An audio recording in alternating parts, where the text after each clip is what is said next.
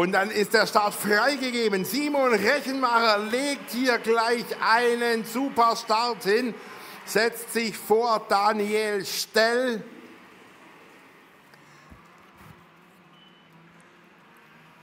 Und so geht's in die erste Kurve. Dahinter ist schon Claudia Henning, die bei der Zufahrt versucht bereits vorbeizugehen an den beiden, aber sich dann doch auf Platz 3 einsortiert. Und dann Lukas Scherbinskas auf Platz 4 und dann geht es hier schon rund in der ersten Runde. Simon Rechenmacher und Daniel Stell berühren sich. Daniel Stell kann das Kart gerade noch abfangen und fällt hier dann aber auf Platz 5 erst einmal zurück. Und das heißt, Simon Rechenmacher, der Führende, vor Claudia Henning, Lukas Schabinskas dann auf Platz 3 und Platz 4 für Lukas Schächer, bevor Daniel Stell dann kommt.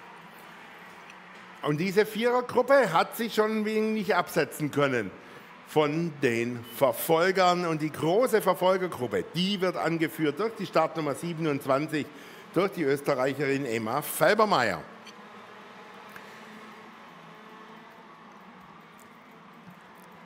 Was passiert jetzt an der Spitze? Das ist so immer ein bisschen die Frage. Viele beobachten erstmal. Da wird erstmal in aller Ruhe die Runden gedreht und dann so in der Mitte eines Rennens, da wird dann ein bisschen mehr aufs Gaspedal gedrückt, da wird ein bisschen schneller gefahren, dann ist das Kart aber auch natürlich leichter, denn es ist ja Sprit verbraucht worden bis dahin. Und dann muss man aufpassen, dass man natürlich nicht zu leicht wird, denn nach einem Lauf wird gewogen und wer dort eben zu leicht ist, der wird ebenfalls wieder aus der Wertung genommen. Daniel Stell geht schon mal vor auf Platz 4 in dieser dritten Runde.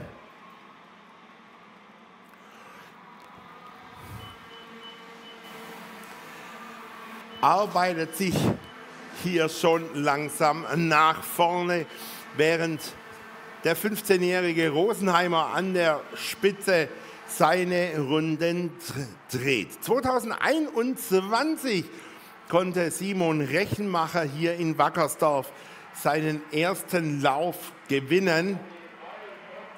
2023 dann wieder ein Lauf für Simon Rechenmacher als Sieger. Das im Moment so ein bisschen die Dahinter Claudia Henning unterwegs, die Weidhofnerin, die 20-Jährige, die im vergangenen Jahr die beiden Läufe gewinnen konnte und ihren ersten Sieg 2018 hier in Wackersdorf verbuchen konnte.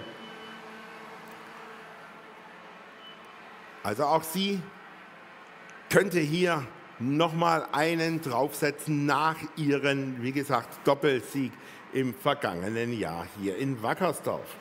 Und Daniel Stell, er ist jetzt schon auf Platz 3 nach vorne gegangen. Der 31-Jährige aus Hammelburg. Bei ihm ist der erste Sieg in Wackersdorf 2012 gewesen.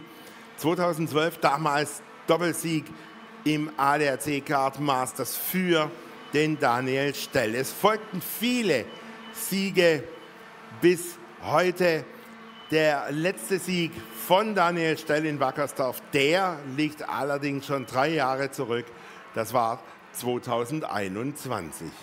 Ja, und diese drei, die haben sich jetzt so ein bisschen abgesetzt. Da geht der Lukas Schabinskas nicht mehr mit und Daniel Stell geht auf die zweite Position und ist jetzt hinter dem Simon Rechenmacher unterwegs und das Ganze nach sechs gefahrenen Runden.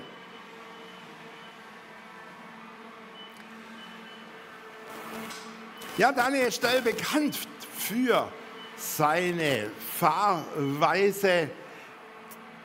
Er ist einer, der sich richtig gut nach vorne arbeiten kann. Das haben wir hier in Wackersdorf 2019 erlebt, als er von Platz 26 auf Platz 9 nach vorne gefahren ist. Und er übernimmt auch jetzt die Führung in dieser siebten Runde.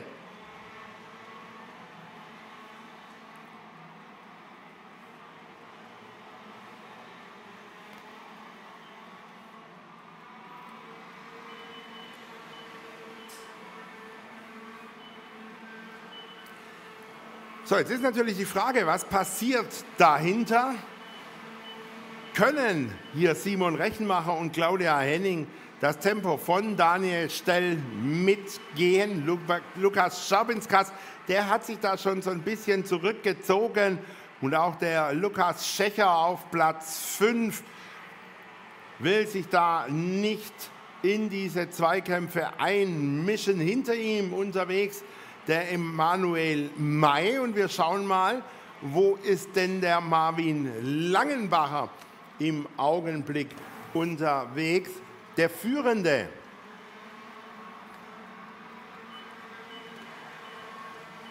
in dieser derzeitigen Meisterschaft.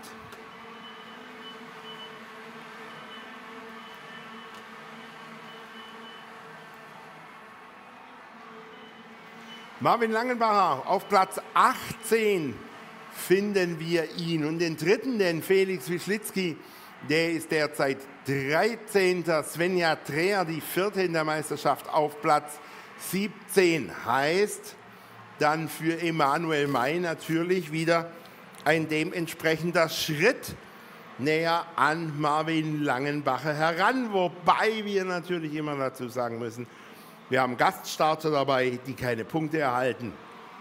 Also insofern der Abstand nicht so groß, wie es sich zuerst einmal anhört. Daniel Stell hat in der Zwischenzeit fast eine Sekunde Vorsprung herausfahren können in diesem Lauf der KZ2.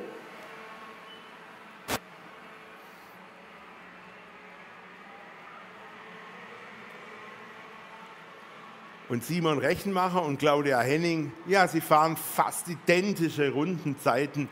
Also da sieht es nicht so aus, als würde hier in den nächsten fünf Runden noch viel passieren. Aber wir haben alles schon erlebt gehabt.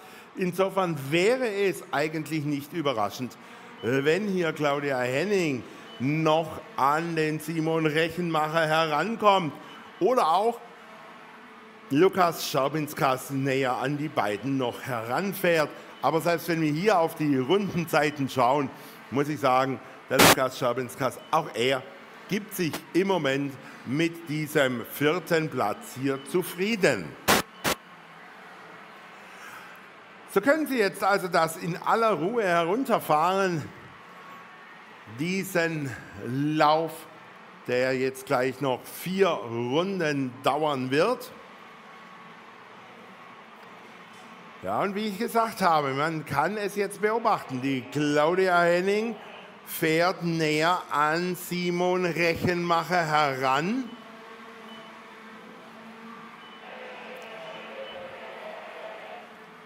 Und der Rosenheimer bekommt auf diesen letzten vier Runden dann doch wieder ein bisschen Druck von hinten.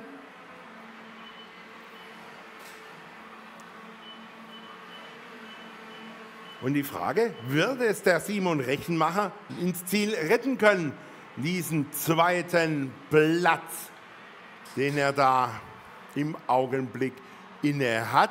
Er ist ja Achter in der Meisterschaft vor diesem Lauf, hat 36 Punkte und Claudia Henning ist Neunte, hat ebenfalls 36 Punkte auf ihrem Konto. Heißt, es geht zwischen diesen beiden hier um Platz Nummer 8, wenn nicht sogar noch weiter nach vorne, denn Paul Moritz Doktor mit seinen 37 Punkten auf Platz 7 ist hier nicht mehr in der Punkteklasse mit dabei, fährt auf Platz 25 im Augenblick hier seine Runden. Aber Simon Rechenmacher jetzt mit einem kurzen Zwischensprint unterwegs gewesen, hat sich vor den letzten zwei Runden noch einmal von Ausgleichsofen. Wir sind in den letzten beiden Runden dieses Laufes, deshalb der Hinweis für unsere X30 Senioren, dass um 13.30 Uhr dann der Vorstart schließt. Also für unsere X30 Senioren bitte dran denken an die Vorstartschließung.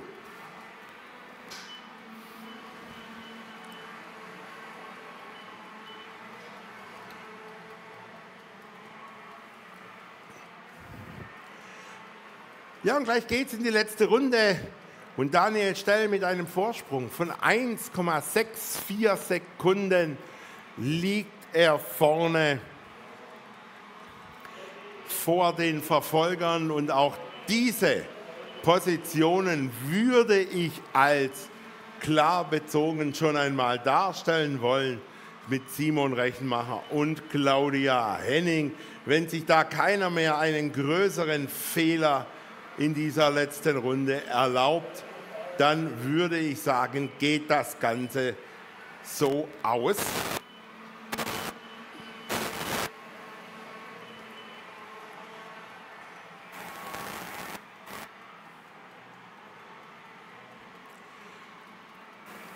Daniel Stell kommt in Richtung Sprunghügel.